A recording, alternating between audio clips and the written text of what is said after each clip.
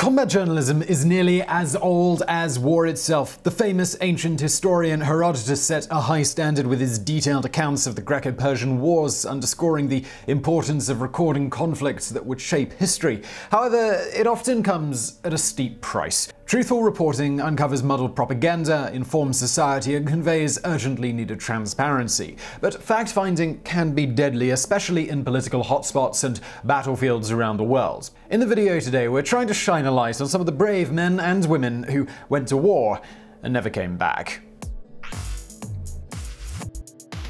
Number 10. Marie Colvin. As one of the most prolific war correspondents in recent decades, Marie Colvin routinely risked her life from the front line. The hard drinking, chain smoking American journalist was known for both her fearlessness and her abrasive demeanor. She established a well earned reputation by venturing into danger zones often overlooked and where others feared to go. Her travels took her from Afghanistan to Zimbabwe and all hostile regions in between. While covering the civil war in Sri Lanka in 2001, she lost an eye in a grenade attack and wore a black eye patch that became her defiant trademark. Colvin's relentless courage and swagger became the stuff of legend during an incident in East Timor where she helped save over 1,500 women and children under attack by Indonesian backed forces. Unmasking the subterfuge that often surrounds war became another defining trait throughout her career, and it would ultimately cost her her life. On assignment for the Sunday Times, she revealed atrocities against civilians in Syria by the Assad led government, such as the use of chemical weapons.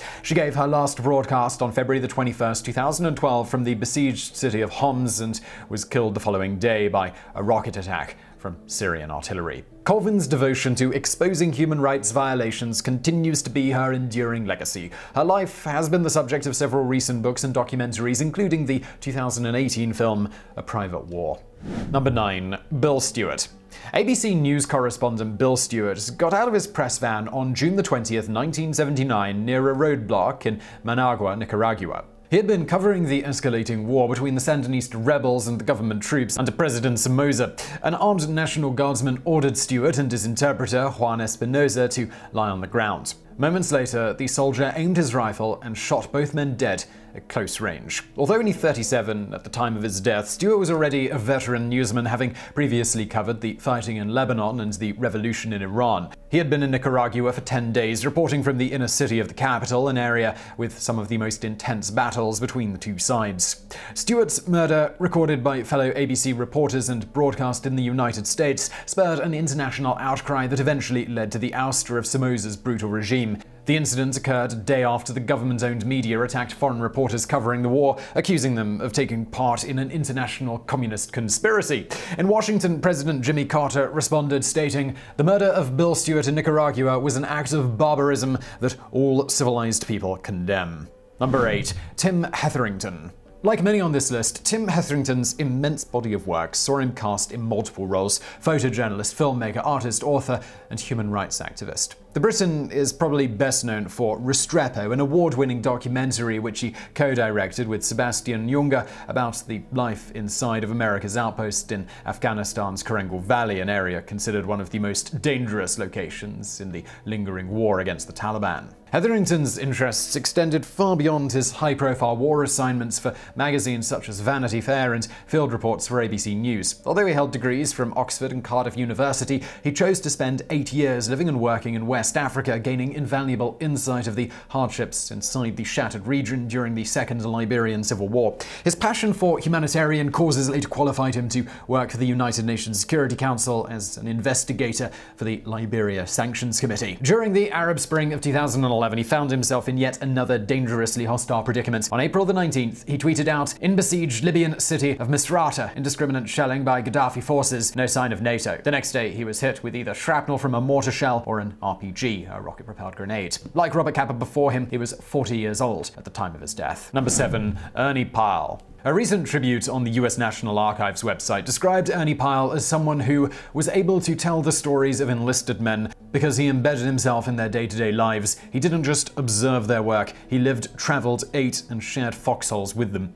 An apt summary of an ordinary newsman with an extraordinary talent for putting a human face on the dehumanizing toll of war. Originally from Indiana, Pyle got his start in journalism writing for his school newspaper at the University of Indiana. He would develop his Mark Twain esque homespun style as a roving reporter for the Scripps Howard newspaper chain. Usually accompanied by his wife Jerry, Pyle wrote primarily human interest stories six days a week for his popular Hoosier Vagabond syndicated column. The couple eventually settled in Albuquerque, New Mexico, where his house would later become a public library. At the start of World War II, Pyle crossed the Atlantic to cover the Battle of Britain, transitioning into a masterful war correspondent. America's subsequent military involvement saw him reporting from the front lines in North Africa, Sicily, Italy, and France, with his dispatches appearing in over 400 daily newspapers. Pyle won the Pulitzer Prize in 1944 for his first person accounts about infantry soldiers that he championed as the guys that wars can't be won without.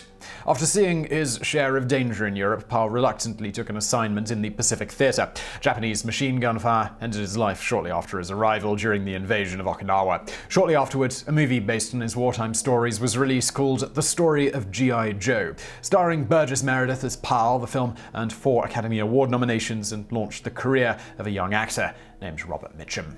Number 6. John Hoagland by the spring of 1984, American photojournalist John Hoagland had managed to carve out a seemingly impossible idyllic world for himself in the sleepy coastal town of La Libertad in El Salvador. The 36 year old San Diego, California native had recently married a local woman who also shared his passion for surfing and nature, despite the ongoing civil war spiraling out of control all around them. But true to his character, Hoagland chose to stay put, using his camera to tell stories about life and death in the small Central American country.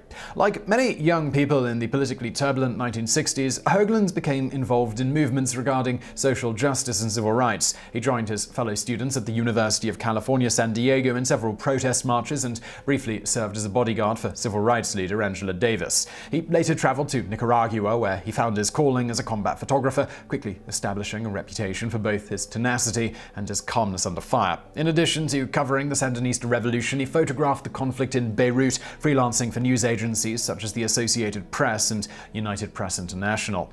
Back in El Salvador, the situation it went from bad to worse. Government death squads slaughtered innocent civilians at will, priests were murdered, nuns were raped, and the US-financed Salvadorian army carried out a scorched earth policy against leftist guerrillas and anyone else who defied its authoritarian rule. Hoagland soon learned he was one of 35 journalists whose names appeared on a paramilitary death list. While on assignments for Newsweek, he traveled with a CBS News crew towards the town of Suchitoto, just north of the capital in San Salvador. On March 16, 1984, a firefight broke out between the army and rebel forces along a rural dirt road. Hoagland, as usual, was 50 yards ahead of the other reporters when a large caliber round from an M60 machine gun penetrated his back. His camera was still clicking away as he fell to the ground, and he eventually bled out.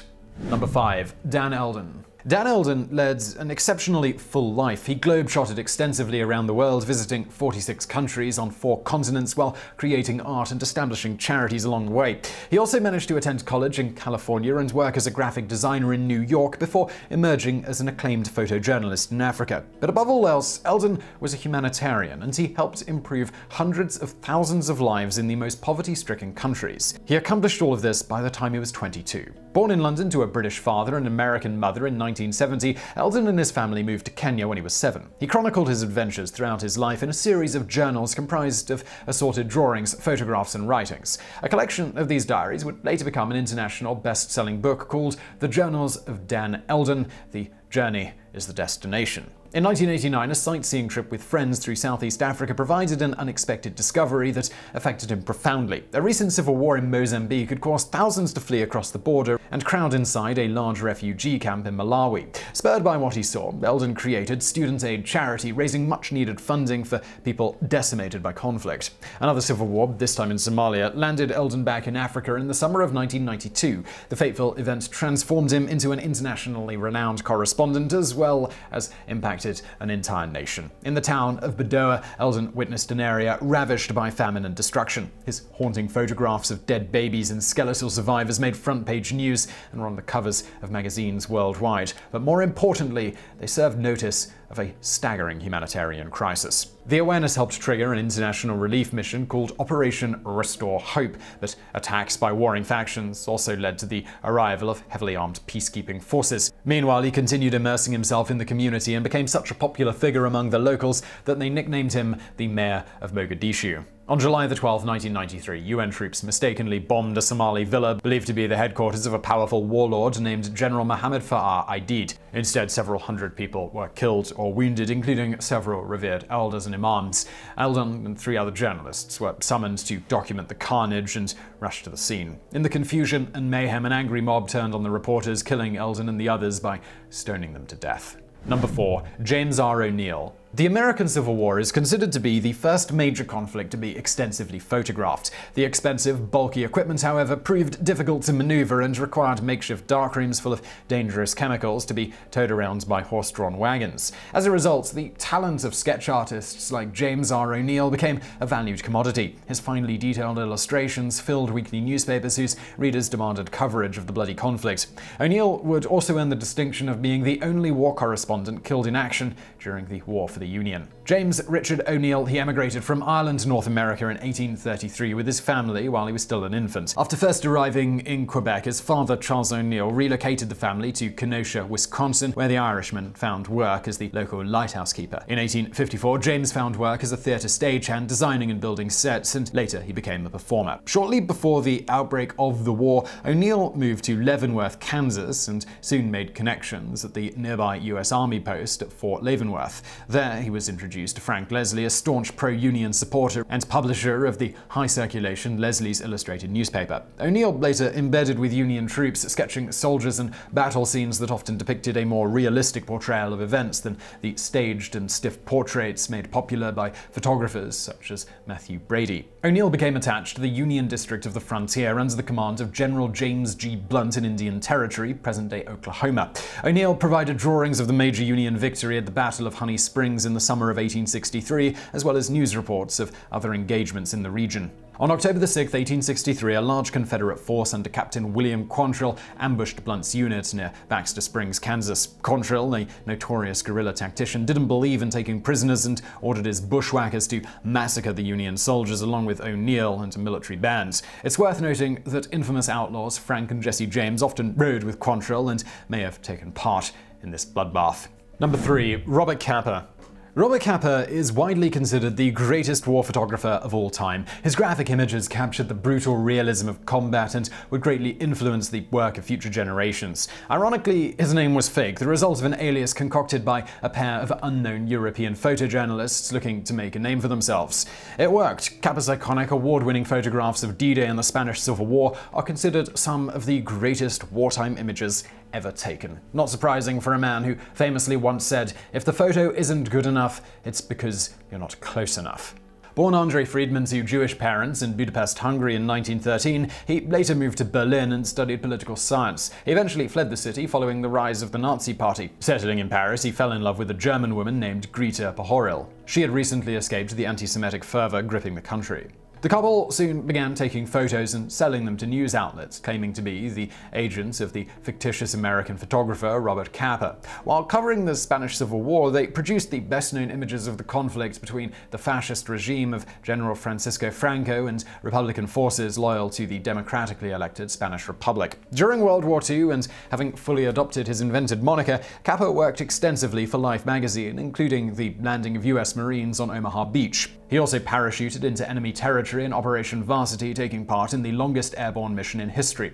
For this groundbreaking work, General Dwight D. Eisenhower awarded him the Medal of Freedom. Capa went on to co-found Magnum Photos, the first co-op agency for worldwide freelance photographers. Shortly before his death, he intimated to friends such as Ernest Hemingway, John Huston, and Humphrey Bogart that he wanted to work on new film projects and was done reporting from combat zones. Nonetheless, Capa accepted an assignment to cover the First Indochina War and was killed after stepping on a landmine while embedded with a French regiment in the Thai Binh province. Number 2. Gerda Taro she worked under the professional name Gerda Taro, naming herself after the Japanese artist Taro Okamoto and Swedish actress Greta Garbo. She was also known as Little Red Fox for her ginger hair and her diminutive stature. After fleeing Nazi Germany, Taro would emerge as a pioneering photographer and is credited as the first female journalist killed while covering a war from the front line. Greta Pohorylle, yep, same person from the previous entry, she was born on August 1, 1910, in Stuttgart, Germany, to Jewish parents. She became politically active early on, opposing the rise of the Nazi Party, and she was arrested and detained on charges of distributing propaganda. She eventually moved to Paris, where her career blossomed after her business and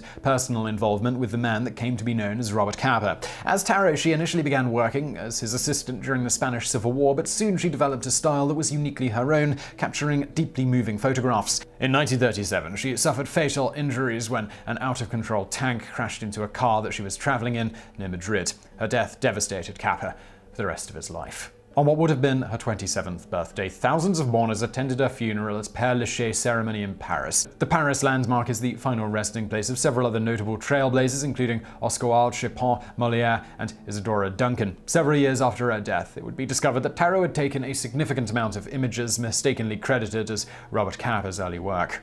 Number 1. Sean Flynn he could have done anything with his life, and so he did. As the only son of legendary movie star Errol Flynn and French actress Lili Damita, Sean Flynn inhabited a world most can only dream about. But he was also an enigma with a restless soul. Impossibly handsome, although typically shy, he went looking for danger but not attention. He would also experience something his famous father never did real bullets in a real war zone. His parents divorced shortly after he was born, and Flynn and his mother they moved to South Florida, far away from the wicked, wicked ways of Hollywood. He briefly attended Duke University, but felt out of place and dropped out after only a semester.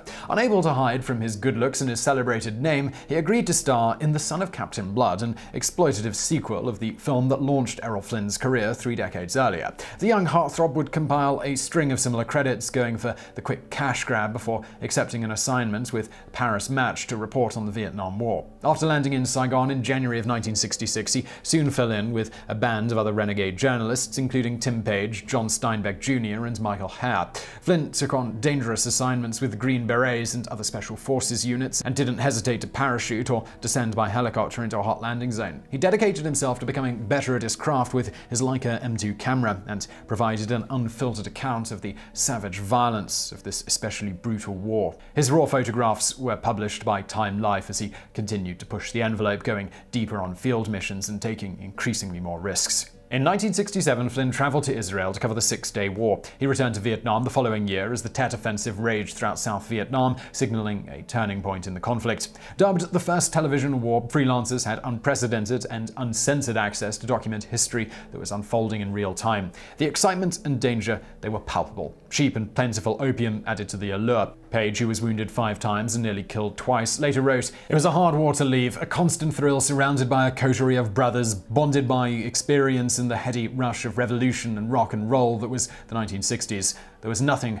back in the world to match it. The incursion of North Vietnamese forces into neighboring Cambodia eventually led to a heavy military presence there, as well as reporters covering the action. Flynn had been steadily compiling hours of film for a documentary that he was making about his wartime experiences. On April 6, 1970, he and CBS cameraman Dana Stone set out on red Honda motorcycles deep into Viet Cong VC occupied territory to shoot more footage but they were never seen again. It's believed the men were kidnapped by VC soldiers and then handed over to the Khmer Rouge before being executed. Despite various attempts over the years by family, friends, and the US government, the remains have never been found. Flynn was declared legally dead in 1984. So I'm not going to ask whether you enjoyed the video, but I do hope you found it interesting. If you did, please do hit that thumbs up button below and don't forget to subscribe. Also, I've got a podcast. It's called The Brain Food Show. I'm going to link to that below. Check it out if you find this interesting. It's sort of like this, just a little bit more laid back. Like I say, link below. And as always, thank you for watching.